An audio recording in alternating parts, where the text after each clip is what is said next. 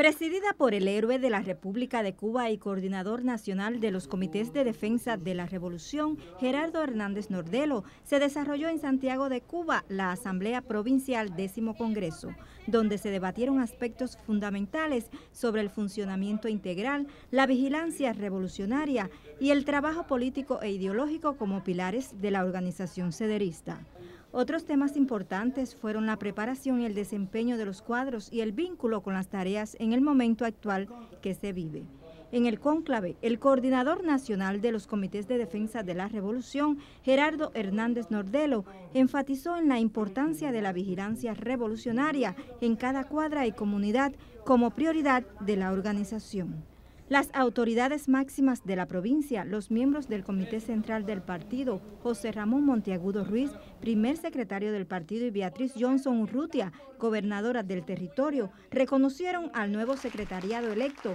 a los municipios destacados, organismos que tienen vínculo con la organización, así como el homenaje a cuadros y municipios con la condición de vanguardia.